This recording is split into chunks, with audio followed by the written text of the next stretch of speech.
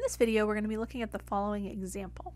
We want to find the area of one petal of the rose curve given by r equals 4 sine 3 theta. So we're talking about finding the area of a polar curve, so we're going to need to use that polar area formula. So remember that formula is that RA equals an integral from a to b of 1 half r squared d theta. Okay, so we're going to have an integral from a to b, we don't know what those bounds are going to be yet, of 1 half 4 sine 3 theta squared d theta. Okay, so we're going to have to do a lot of work to figure out what these bounds need to be.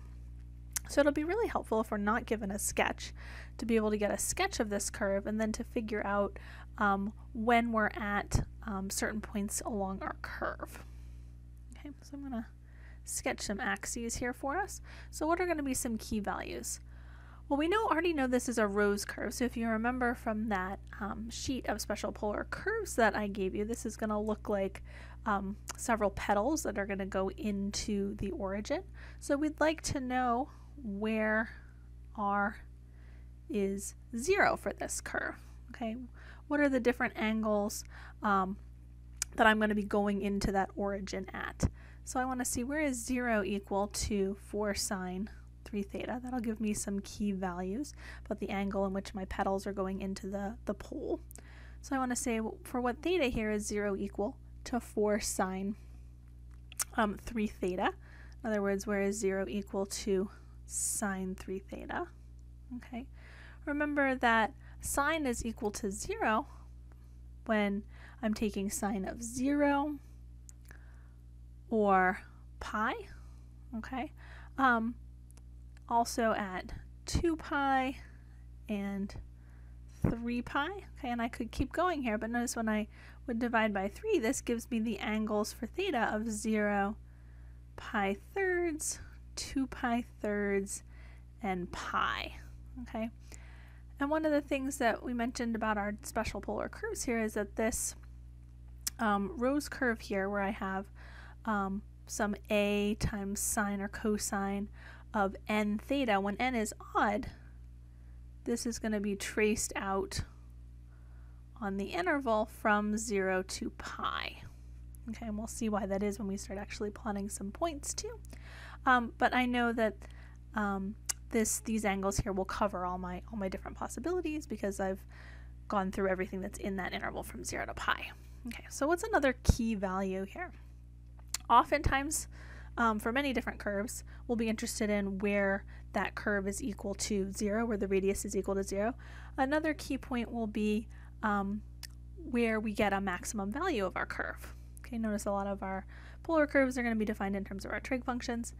We know that sine and cosine both have a maximum value of 1.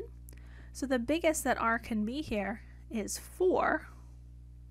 Okay, and the smallest that r could be is negative 4. Okay, since sine has to be between 1 and negative 1, this 4 sine 3 theta will be between 4 and negative 4. So we'd like to know where is it hitting those, those values. Those are actually going to represent the tips of our petals, which is the furthest away our loop would be from um, the origin, from the pole. So I want to say, well, where is 4 equal to 4 sine 3 theta? Okay, well, that's where 1 is equal to sine 3 theta. Okay, so 3 theta is my angle. So this is going to be where 3 theta is equal to pi over 2. We know that sine of pi over 2 is 1. Um, I'm not quite done yet here, but notice that that's going to give me pi sixth. Okay, where else am I going to hit 1? Well, it won't be at 3 pi over 2. It'll be again at 5 pi over 2 when I would come back to that same um, pi over 2 location. Okay, so this gives me 5 pi sixth. Okay, and notice that's all the angles that I'm going to get here because 5 pi 6 is just a little smaller than pi. If I kept going, I get something outside of that interval from 0 to pi. So what about where I'm going to get negative 4? Well, that's where, oops, negative 4 would equal 4 sine 3 theta, or where negative 1 is equal to sine 3 theta. Okay, so notice that this will be where 3 theta is equal to the angle such that sine of that angle is negative 1. We know that that's 3 pi over 2. Okay, where are we going to hit um, that same location of 3 pi over 2 again. Notice that's down here. So I can say, okay, that's 3 pi over 2, then I'd be 4 pi over 2, 5 pi over 2, 6 pi over 2. It looks like I'd get there again at 7 pi over 2. Okay, so that means I'm looking at theta values here of, let's see, divide both sides by 3, pi over 2, and 7 pi sixth. Okay, so what do we notice about the 7 pi 6 here? That's actually bigger than pi. Okay, so we just have pi over 2, so where we're going to hit that r equals negative 4. So this is outside the interval. That'll actually end up going back over some place on the curve that we've already um, determined. Okay, so let's use this to help us draw the curve. Um, notice these angles here. Okay, these are all angles um, at which our curve is going to go into the origin. Okay, so I can sketch these angles of theta equals 0. Okay, notice that that's right here where I would have theta equals 0. Okay, then I'm going to have theta equals pi thirds. That's about here. And if you have some nice graph paper, that's where um, that this can come in a little bit handy in doing some sketching. This is theta equals 2 pi thirds. Okay, and then over here I have theta equals pi. Okay. Um, I also have these key values here. Theta equals pi 6 was going to be where I was going to get to the tip of my petal. And 5 pi 6, okay, which is over here. And then we also had theta equals um, pi over 2, okay, but that's corresponding to the point r equals negative 4. So I'm going to have the point r comma pi over 2, negative 4 comma pi over 2, on my curve. So notice that would be something that would make an angle of theta equals pi over 2, okay? But then instead of going um, in the pi over 2 direction, I would be walking backwards. Remember we think of the, the negative r's as like walking backwards. So I would have this point down here of the negative 4 comma pi over 2, okay? And these angles here might help for me to draw these lines going, going through the origin. Okay, so what is this curve going to look like? Well, I'm going to be hitting a distance of 4 here at pi 6 and at 5 pi 6 and negative 4 at pi over 2.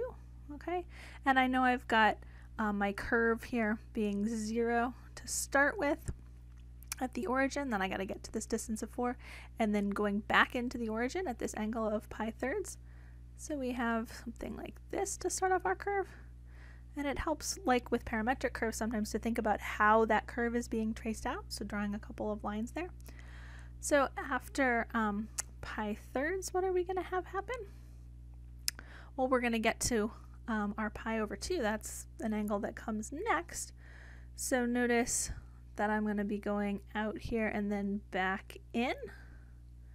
Okay, um, hitting um, our origin again here at this angle of 2 pi thirds, okay? And then going out to 5 pi 6 and then back in. Okay, so we're getting our rose curve to look like this. Okay, and so we saw that order in which it was traced out. We were here, then here, here, here, here, here. Okay. So we're trying to get a really complete picture of this curve um, partly because this is one of the first times that we've done something like this. We're also going to see how this helps us set this up in multiple different ways, just so you can see that there are several um, equivalent setups for one of these types of problems. Um, I also just want to show you um, another um, picture here of this curve.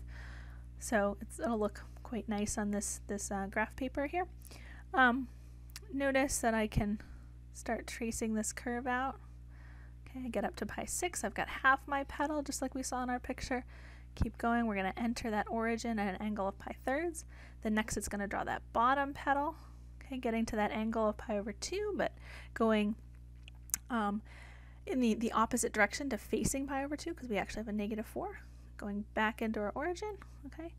And then going back out at that angle of 2 pi thirds, hitting 4 at 5 pi sixths and then going back into the origin, into the pole, at the angle of pi. So that got our whole curve. Okay, so there's the curve um, fully displayed here, but it's also useful to kind of know how that curve was created. Okay, so let's go back to our notes here and see how we can use all this work that we just did in drawing the curve um, to help us do the setup. And this work is helpful even if you already have a picture um, because you still might want to know um, what the angle was at some of those different points where we hit some key values. So what's a one um, setup that we could use for finding the area of one of our petals? Well, notice that the probably most obvious one that you might start with is finding the area of the petal in this first quadrant. Notice it is saying just one petal. Okay, so we don't want to go um, from 0 to pi. We want to actually find the area of one single petal. Um, but I do have some symmetry here, so I can find the areas of any of these three petals. If I want the one in that first quadrant, I can go from 0 to pi thirds. Okay, so one way of thinking about that in terms of the work that we did over here is I'm going from the first time it hits 0 to the second time it hits 0. So that closes off one single loop of the curve. Okay, so one setup here would be the integral from 0 to pi thirds of 1 half 4 sine 3 theta squared d theta. Okay, so I'll just match this up with a little picture next to it here. We can think about what we just found. That's the curve, the, the uh, petal in the first quadrant. Okay, what would be another option? Well, sometimes it's going to be useful for us to use symmetry on these problems. So I could say, instead of doing that whole petal, I could do twice half of the petal. So I get to half of the petal when I go to that very tip at pi 6. So I could do twice the integral from 0 to pi 6 of 1 half 4 sine 3 theta squared d theta. Okay, so the picture that we have in mind, again, this is our whole curve here, but I'm just doing half the petal and then multiplying by 2. Okay, what else could I do here? Well, I have two other petals that I might want to describe just to think about what's going on here. So let's say I wanted the petal, the bottom petal there. Okay, this one. So how would I find that area? Well, that would be an integral from pi thirds to 2 pi thirds. Okay, initially that might be a little bit confusing as to why those would be the right bounds for that bottom curve since an angle of pi thirds to 2 pi thirds, oops, pi thirds would be here, and 2 pi thirds is here, seems like you're saying I'm capturing some area that's up here and there's, there's no petal there. But between pi thirds and 2 pi thirds, our radius that we're working with would be negative, which is why that's actually capturing the petal here that's reflected between pi thirds and 2 pi thirds. Okay, so pi thirds to 2 pi thirds of 1 half 4 sine 3 theta squared d theta is capturing that bottom petal. Okay, this is just trying to help us think about the details that go into working with polar curves and things that we have to be maybe a little bit more careful of because of the nature of our polar coordinates. Um, we have these multiple representations of points, and we have situation like, like this where the combination of the, the angle and the radius you know pushes things into into the reflected area like we see here okay so what about maybe that third petal? What would that look like? Okay so if I want the petal over here this would be an area from what to what? Well looking at our picture that we have here it looks like from 2 pi thirds to pi, we'll capture that area in the, um, the, second, the second quadrant there. So I could say from 2 pi thirds to pi of 1 half 4 sine 3 theta squared d theta. Okay, gives us this petal here, okay? And any one of these, these four different setups that we've gotten would give us the same answer, the area of one of the petals of this particular rose curve, okay? Um, let's see here. So what remains to answer the question is to sort of pick your favorite formulation and then actually go through and compute the integral. So I'll go with the first one that we had here, but you could have used any of these okay, to compute your area. So now let's compute the area. This will involve um, reminding ourselves about some, some nice trig identities that we learned earlier. So let's use the formulation that we have the area of that first petal which is our integral from 0 to pi thirds of 1 half for sine 3 theta squared d theta. Okay, notice that when I would square that 4, that's going to become 16. So I'm going to have 16 over 2, or 8. So I'll have 8, the integral from 0 to pi thirds, of sine squared 3 theta d theta. So notice here I have an even power of sine. So if we think back to um, one of our earlier sections when we looked at trig integrals, we had rules for dealing with um, even powers of sines and cosines versus situations where we had an odd power of sine or cosine. So the even power cases, we just had an even power or two even powers, we needed to use the half angle identity. So this is going to come up all the time in these polar curve problems because we're frequently going to be squaring because that's part of our, our formula, squaring the radius. And the, the radius, or our f of theta, our polar curve, will often be defined in terms of some sines or cosines. So remember that sine squared of theta is equal to 1 minus cosine 2 theta over 2. Okay, so here my sine squared 3 theta, okay, will be 1 minus cosine of 2 times 3 theta. So I'll have to have this times 6 theta, or of 6 theta, um, divided by 2. Okay, and I can bring that divided by 2 out front.